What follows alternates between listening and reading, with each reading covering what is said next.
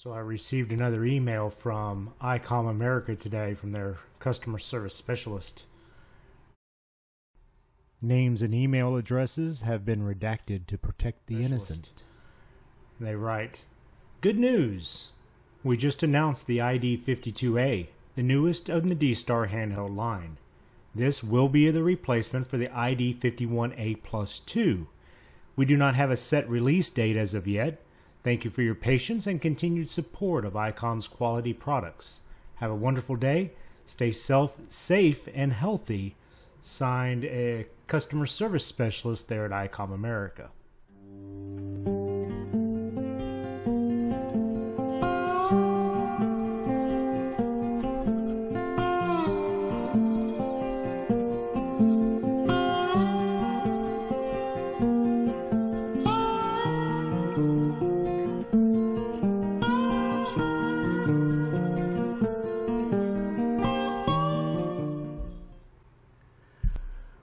Folks, you know, uh, a few days ago I reached out to ICOM America uh, inquiring about the discontinuation of the ICOM ID 51A Plus 2, their little HT dual band uh, D Star radio.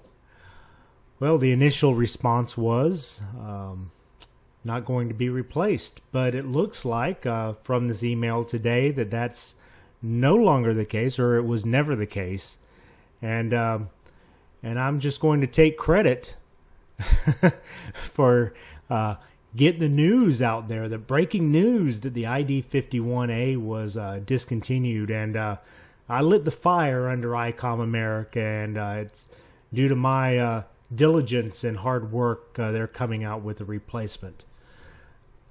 Guys, you know I'm just joking. Don't take me seriously. I, I had nothing to do with that. It was just a coincidence that it, it was funny.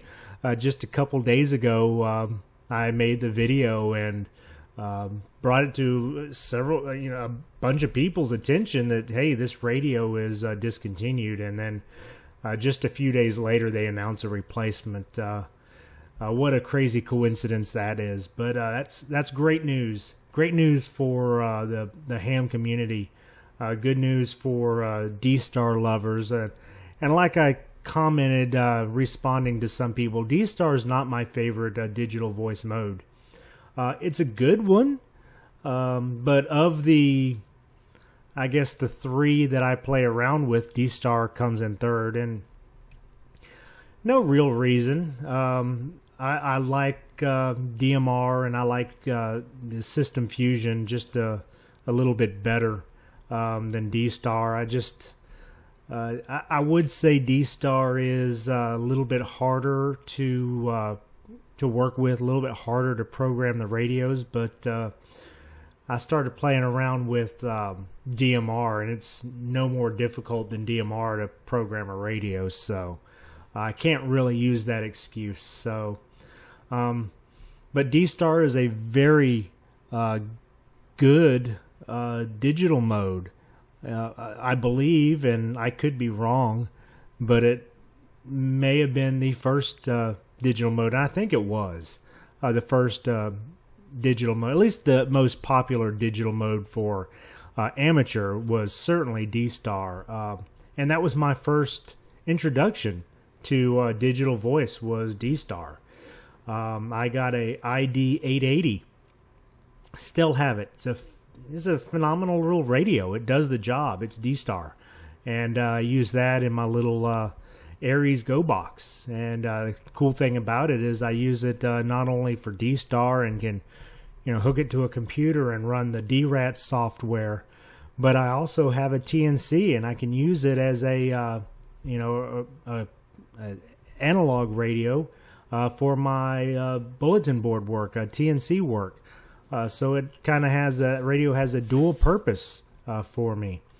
Um, but I'm getting sidetracked. I just wanted to bring to everybody's attention that the uh, replacement for the ID51 has been announced.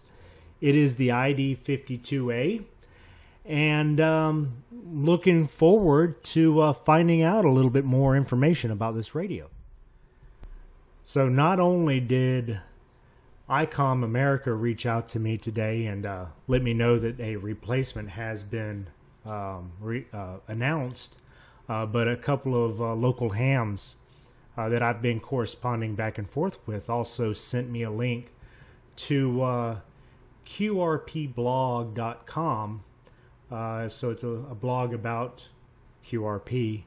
But they have on here that ICOM ID 52 D Star handheld is announced. Um, they talk a little bit about it. They show some pictures.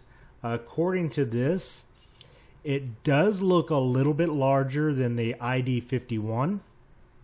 It looks like it has a color screen where the ID51 had just a black and white LCD screen. The 52 looks like a color screen.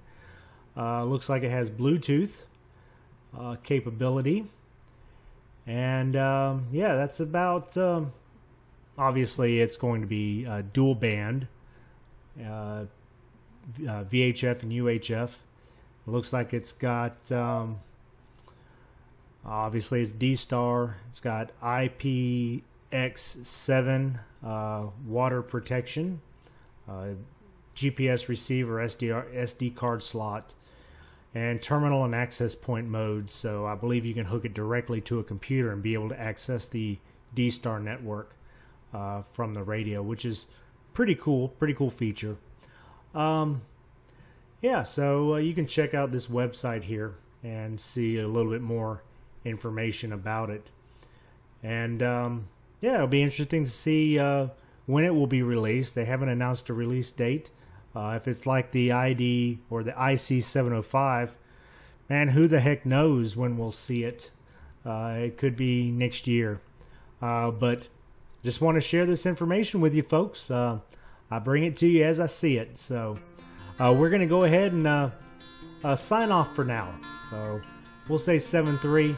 Everybody take care, be safe out there, and we'll catch you in a future video from KK4DIV. Bye bye.